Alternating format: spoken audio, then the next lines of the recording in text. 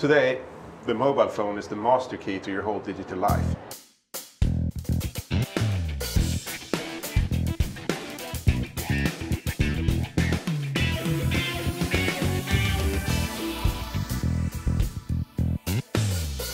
So I got a mail from our IT department a few days ago and they warn about macroviruses and ransomware.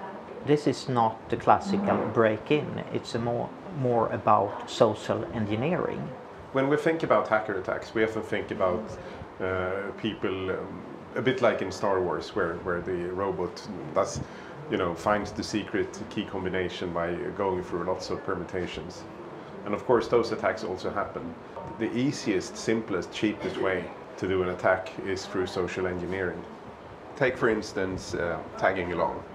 So you want to get into a room, but the door is locked and you don't have the key. So you just wait until someone comes along and you tag along after them and get in when they open the door. This works 99 times out of 100. So is this the same with email? The, the security on computers are relatively good against outside attacks. But the uh, emails where you, you get an attachment or a link to open, um, that's a way to use you as the insider to open the door for the person on the outside. So it's actually the very same attack, just that it happens on the computer. Uh, it's very much like a Trojan horse, or it's like in the old days. People were convinced that the you could only get the devil inside your house by inviting him that he couldn't cross the threshold without an invitation. So it's, it's about the same thing. Someone knocks on your door and says, hello, I'm here to sell vacuum cleaners. And you go like, okay, come in. And they go like, mwahaha, now I'm on the inside. How can we protect us from social engineering? Um, coming back to the doors, where um, you convince someone to, or you don't even convince them, you just tag along behind them and they, they don't even look at you. Um, how do you protect against that? Well, you use doors where only one person can pass at a time. So that's what, what many companies do. They have the doors that go to, or they have the revol revolving doors where only one person can pass at a time. That makes it, of course, much harder to do tag along.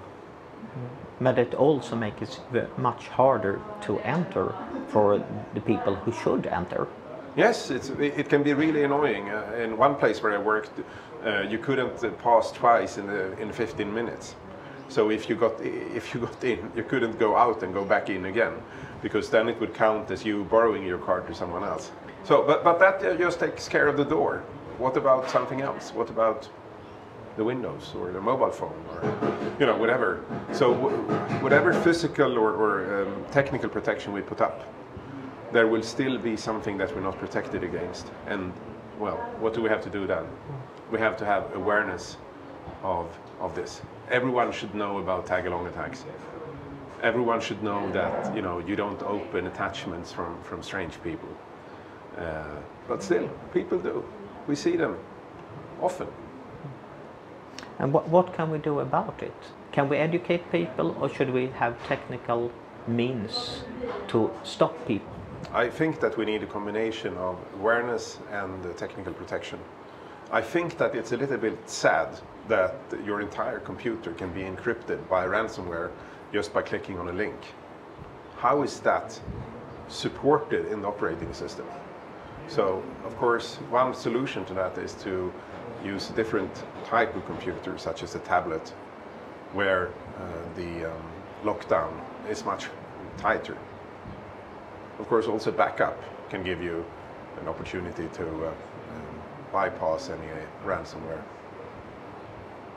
So there are many technical protections that can prevent or limit the damage once the problem is found. What is the downside with those technical limitations?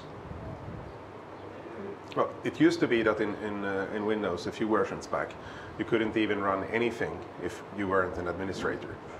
So if you put any lockdown on it, you basically, well, sometimes you couldn't even print.